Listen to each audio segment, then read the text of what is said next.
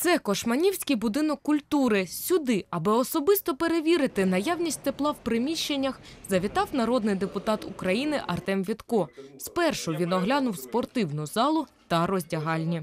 Ну, Це найголовніше, друзі. Знаєте, можна казати все, що завгодно. Як ми робили, що ми робили. Десь хтось нас там звинувачує, що ми жорстко діяли. Але, друзі, ось найголовніше. Це тепло. І це ці діти, яких ми бачили в залі, ці обличчя радісні.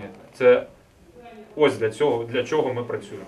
Незабаром учні Кошманівської школи відправляються на змагання з гандболу. До тренувань вони долучили і Артема Вітка.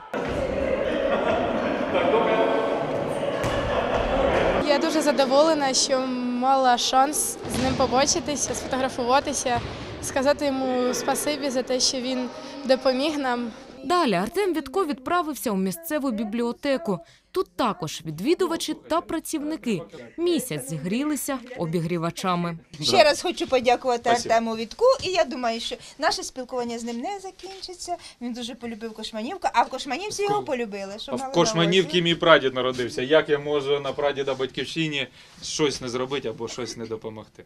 Завершив свій візит Артем Вітко зустрічю з мешканцями Кошманівки. Він подякував їм за небайдужість та співпрацю, а також вислухав ще не вирішені проблеми своїх земляків.